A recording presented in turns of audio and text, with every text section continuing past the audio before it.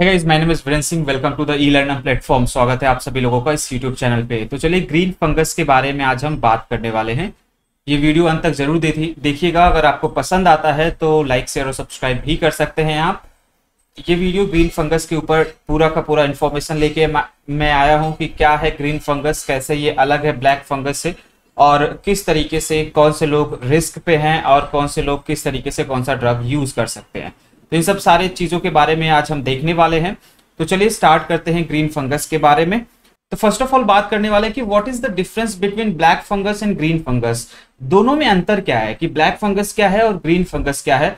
तो black fungus white या yellow fungus जो है, वो Mucor mycetes family of fungus से कॉज किया जाता है। The black fungus is actually caused by the mucormycetes family and when you talk about the green fungus it is caused by the mould aspergillus ये जो होता है, एक mould से कॉज होता है, जिसको हम बोलते हैं एस्परजिस जो कॉमनली नोन एज मोल्ड आसपास आप देखते होंगे कि जब बरसात के दिनों में कुछ फंगस जिसको कुकुरमुत्ता के नाम से भी आप जानते हैं तो वैसे जो होते हैं फंगस डेवलप हो जाते हैं। This is one of the kind जिसको कि मोल्ड में इन्वॉल्व होता है। ब्लैक फंगस या व्हाइट फंगस या येलो फंगस मोस्टली आउटडोर्स में पाए जाते हैं, लेकिन green fungus present in indoors and outdoors both ये हमारे घरों में भी अवेलेबल होता है, इसके स्पोर्ट्स अवेलेबल होते हैं, और ये बाहर भी पाया जाता है। जनरली जो होते हैं ब्लैक फंगस व्हाइट फंगस या येलो फंगस जो होते हैं, वो throughout the environment specifically जो होते पाए जाते हैं। हर इन्वायरमेंट में आपको मिल जाएगा। और स्पेसिफिकली अगर हम ग्रीन फंगस की बात करें तो ये इंडोर्स जनरली जो ह्यूमिड कंडीशंस होते हैं, उसमें अपियर होते हैं। और इसमें नॉर्मली अगर हम बात करते हैं ब्लैक फंगस तो ये डिकेइंग मैटर्स यानी कि जो decaying organic matters such as leaves compost piles और एनिमल डंक्स इसमें जो होता है, ये स्पेसिफिकली इन्वॉल्व किया जाता है कि एनिमल डंक्स है, इसके थ्रू जो होता है ब्लैक फंगस अपियर होता है और जिसके थ्रू वो इन्फेक्ट करता है वीकेंड इम्यून सिस्टम पर्सन को या जो ऐसे लोग जो कि लंग डिज़ीज़ या किसी चीज़ से सफ़र कर रहे हों। ग्रीन फंगस के ऊपर बात करते हैं ये भी decaying leaves organs decaying compost trees grain crops इन सब में जो होते हैं वो इन्वॉल्व होते हैं एंड uh, इसकी वजह से ग्रीन फंगस अपीयर होता है जिसके स्पोर्ट्स हमारे बॉडी के इनहेलिंग के थ्रू हमारे बॉडी में पहुँच सकते हैं and they can cause the green fungus disease and चाहे तो म्यूकर माइसिटीज फैमिली हो जैसे इसमें ब्लैक व्हाइट या येलो फंगस आते हैं, या एस्परजिलस फैमिली हो, जिससे ग्रीन फंगस आता है, ये हमारे, कहते हैं कि हमारे बॉडी के कांटेक्ट में डे बाय डे में आ ही जाते हैं। लेकिन ज़रूरी नहीं है कि ये हमें डिज़ीज़ कॉज करे, क्योंकि अगर हम, हमारा इम्यून सिस्टम हेल्दी है तो ये जो होते हैं, हमारा इम्यून सिस्टम इसको किल करके हटा देता है। लेकिन अगर हमारा इम्यून सिस्टम वीक है ना तो ये अटैक कर देते हैं तेज़ी से। इनको अपॉर्चुनिटी मिल जाती है अटैक करने के लिए। So these are the things अगर आप देख पा रहे होंगे तो कैसे डिकेइंग मैटर्स जो हैं, वो यहाँ पे अवेलेबल हो रहे हैं, कैसे डिकेइंग ट्री पे फंगस ग्रो कर रहा है। तो यू कैन सी एक्चुअली कि these are the different different cases these are the fungus है डिकेइंग ट्रीज है डिकेइंग एप्पल डिकेइंग ये जो है कंपोस्ट की तरीके से या डिकेइंग लीव्स है। तो इन सब जगहों पे ये फंगस ग्रो ज़्यादा होते हैं। बरसात के दिनों में कंपोज डिकम्पोजिशन या डिकेइंग मैटर थोड़ा ज़्यादा बढ़ जाता है तो जो है, इन कंडीशंस पे अपने आप को थोड़ा सा प्रोटेक्ट रख के प्रोटेक्ट रखने की कोशिश करिएगा। चलिए बात करते हैं एस्परजिलोसिस या ग्रीन फंगस ग्रीन फंगस का दूसरा नाम एस्परजिलोसिस है। It is an infection which is caused by the aspergillus ये एक एस्परजिलस स्पीसीज से कॉज किया जाता है। इट इज़ कॉमन फंगस जो हमारे इनसाइड होम या आउटसाइड दोनों जगहों पे पाया जाता है। The medical name of this disease is aspergillosis इसको हम एस्परजिलोसिस के नाम से जानते हैं ग्रीन फंगस को।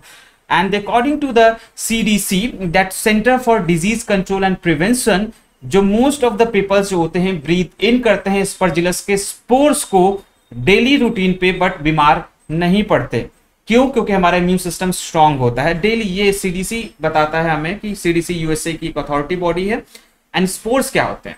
Spores are the single celled reproductive structure single cell reproductive structures होते हैं जो कि बैक्टीरिया फंजाई एलगी या प्लांट सेल से प्रोड्यूस होते हैं and they are very very specific and वो क्या होते हैं? हार्स कंडीशन में सर्वाइव करने के लिए बने होते हैं रिप्रोडक्टिव स्ट्रक्चर्स होते हैं और ये हम जब इनहेल करते हैं तो एयर के थ्रू हमारे नॉस्ट्रिल से होते हुए हमारे breathing organs that is respiratory system में जा सकते हैं।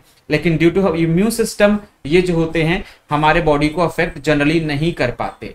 लेकिन स्पर्जिलोसिस और ग्रीन फंगस हेल्थ कंसर्न का पार्ट इसलिए बना हुआ है क्योंकि कोविड 19 पेशेंट जो रिकवर कर रहे हैं, या ऐसे पर्टिकुलर पर्सन जिनका लंग वीक है, उनमें ये पर्टिकुलर स्पर्जिलस या स्पर्जिलोसिस डिज़ीज़ जो है, वो हो सकता है।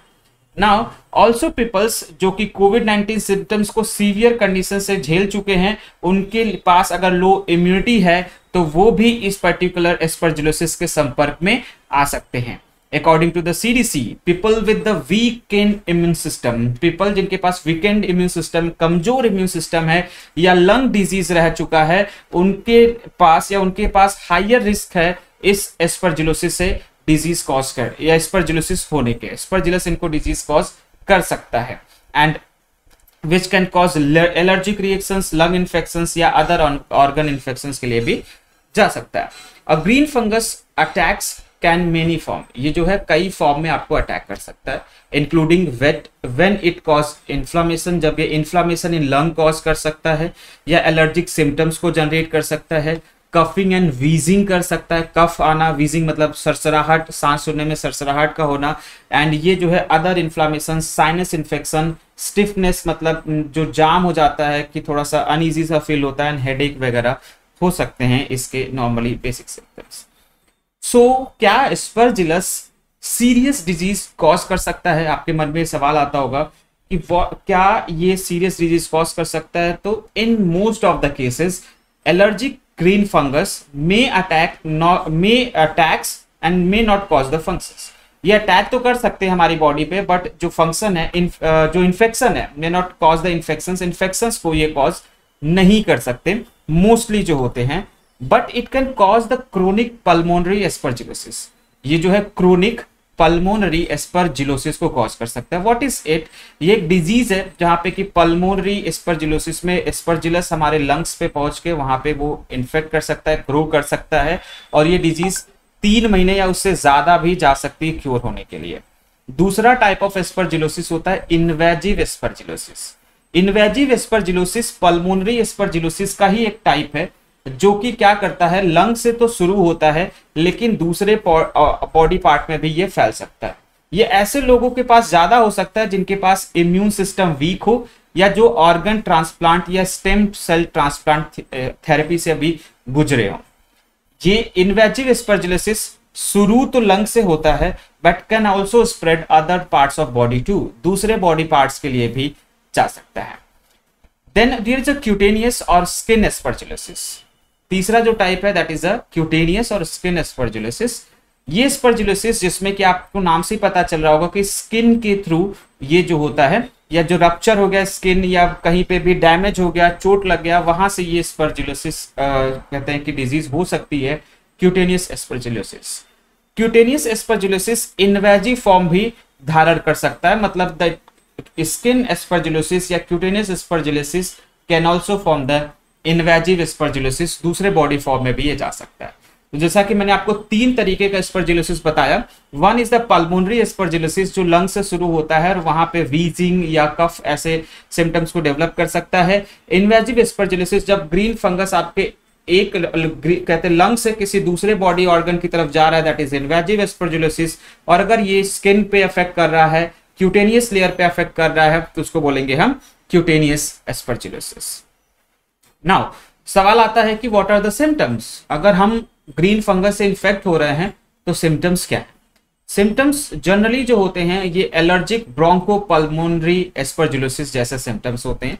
जैसे कि A B P allergic broncho pulmonary allergic reaction या एस्परजुलोसिस रिएक्शंस नॉर्मली सिम्टम्स इसके वैसे ही होते हैं, जैसे कि एजमा के कंडीशन में पाया जाता है। एजमा, यानी अस्थमा बोलते हैं हम नॉर्मली लेकिन इसको asthma that is like wheezing shortness of breath coughing या फीवर इन रेयर केसेस ये जो होते हैं शॉर्टनेस ऑफ़ ब्रीथ मतलब सांस का फुलना वीजिंग जो सांस लेते हैं, उसमें कहते हैं सरसराहट सा फील होना कफिंग खांसी होना, या फीवर इन रेयर केसेस आ सकता है। इन सम केसेस जो कि आपके लंग्स में अगर अफेक्ट करता है तो इसके अलावा, अगर आप कोविड 19 सिम्टम्स को भी ये थोड़े थोड़े इंक्लूड करता है स्पेसिफिकली लॉस ऑफ़ स्मेल को, ये जो होते हैं, अगर ये साइनसेस को अफेक्ट किया मतलब हमारे जो नाक के पीछे साइनस पाया जाता है, अगर उसको अफेक्ट किया तो इट कॉज स्टेफिनेस मतलब जाम कर देगा नाक को रनी नोज़ या वहाँ पे म्यूकस ज़्यादा बनने लगा तो आपको सर्दी हो जाएगी रनी नोज़ हो जाएगा हेड एक सर दर्द करने लगेगा, और समटाइम्स आपका जो स्मेल प्रॉपर्टी है, वो भी रिड्यूस हो सकता है, कम हो सकता है। ये भी सिम्टम्स कॉज कर सकते हैं।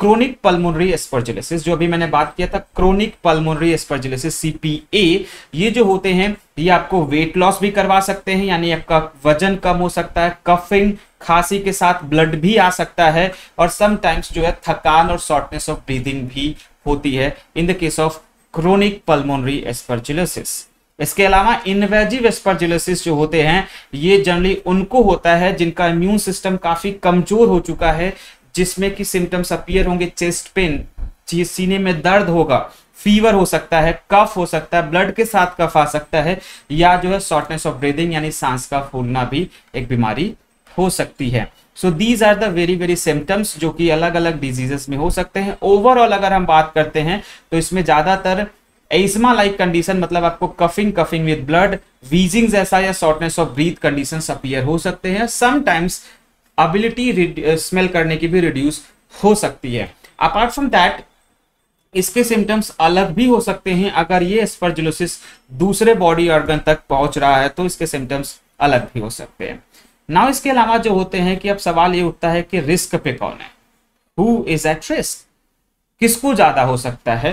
तो सबसे पहली चीज़ कि एवरीडे एक्सपोजर हमारी, जो होता है स्पर्जिलस से हो रहा है। हम डेली स्पर्जिलस से या ग्रीन फंगस से इंटरेक्ट कर रहे हैं। अगर ग्रीन फंगस से इंटरेक्ट कर रहे हैं, फिर हमें डिज़ीज़ क्यों नहीं कॉज कर? रहा बिकॉज़ हमारा इम्यून सिस्टम हेल्दी है।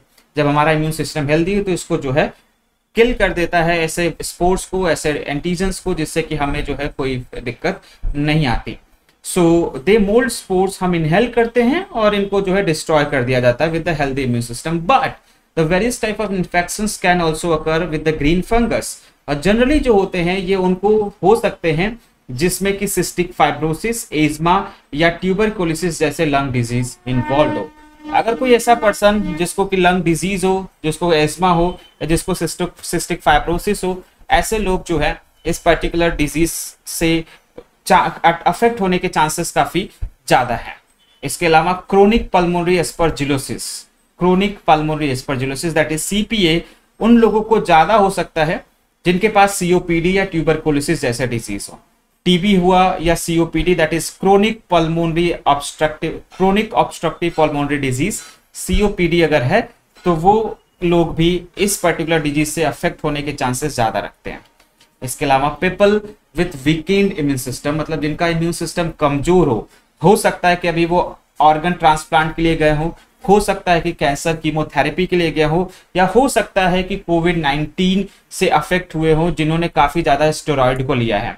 ऐसे लोग जो है इन्वेजिव कहते हैं स्पर्जिलोसिस के थ्रू में ज़्यादा आ सकते हैं। At they are the risk of invasive aspergillosis invasive aspergillosis आ सकता है। However aspergillosis does not spread between the people और बिटवीन पीपल और people between animals from the lungs ये जो होते हैं पीपल्स के बीच में या एनिमल्स पीपल और एनिमल्स के बीच में जनरली स्प्रेड नहीं होता है। तो यानी कि जनरली इसका कॉज करने का जो तरीका है ना, वो ऐसे ही जगहों से है जहाँ पे कि dumping and all decaying matters हो रहे हैं एंड इसके अलावा इसके स्पोर्ट्स हमारे पास आ रहे हैं। और अगर हमारा इम्यून सिस्टम स्ट्रांग हुआ तो हम इसे आराम से सेफ़ है। So rather than focusing on different things focus on your immune system take proper diet and all so that कि आपका इम्यून सिस्टम ऐसे चीज़ों से आराम से फाइट कर सके। अब सवाल ये आता है कि इसको डिटेक्ट कैसे किया जाए? How it can be detected what are the drugs क्या है डिटेक्ट करने का तरीका? क्या है ड्रग्स तो सबसे पहले आता है डॉक्टर्स जो होते हैं, इसके चेक करने के लिए आपको एक्सरे या सीटी स्कैन चेस्ट का मांग सकते हैं, जिसके थ्रू वो डिटेक्ट करेंगे कि आप ग्रीन फंगस से इन्फेक्टेड है या नहीं है। कई सारे केसेस में जो होते हैं लंग से फ्लूड सैंपल भी लिया जा सकता है ग्रीन फंगस को डिटेक्ट करने के लिए फ्लूड सैंपल को लेके ग्रीन फंगस को कल्चर करने की टेक्निक यूज़ करके इसको यूज़ किया जा सकता है। समटाइम्स टिश्यू की बायोप्सी भी की जाती है in cases and invasive aspergillosis के केसेस में अगर आपका इम्यून सिस्टम वीक है तो आपको ब्लड सैंपल भी लेने की ज़रूरत पड़ती है। तो ब्लड चेक हो सकता है, आपके पास ब्लड चेक हो सकता है या टिश्यू बायोप्सी हो सकती है या ये सारे कंडीशंस जो हैं, वो आपको अपियर हो सकते हैं। इसके अलावा जो है कि लिस्ट ऑफ़ द ड्रग्स जिसको कि यूज़ किया जा सकता है ग्रीन फंगस के लिए दैट इज़ इट्राकोनाचोल या आपके वोरिकोनाजोल होते हैं। इट्राकोनाजोल या वोरिकोनाजोल जो कि एंटी फंगल इन्फेक्शन के लिए मतलब फंगल इन्फेक्शन के लिए यूज़ किए जाते हैं and they are the anti fungal agents तो इधर इट्राकोनाजोल्स आप यूज़ करिए और वॉरिकोनाजोल्स यूज़ कर सकते हैं, या एम्फोटेरिसिन बी जो कि ऑलरेडी ब्लैक फंगस के लिए यूज़ किया जा रहा है, आप इसका यूज़ भी कर सकते हैं ब्लैक फंगस के लिए एम्फोटेरिसिन बी तो ब्लैक एम्फोटेरिसिन बी भी यूज़ किया जा सकता है. तो चलिए मैंने आपको आज के सेशन में ये बताया कि व्हाट इज़ ग्रीन फंगस ये ब्लैक फंगस से कैसे अलग है और क्या है इसके टाइप्स क्या, कौन से लोग हैं जो रिस्क पे हैं क्या आप कर सकते हैं और कैसे डिटेक्ट किया जा सकता है? तो अल्टीमेटली कंक्लूजन यही है work on your immune system take a proper diet improve your immune system क्योंकि आप वैक्सीन एक, दो, तीन, चार डिजीजेस के लिए लगा सकते हैं।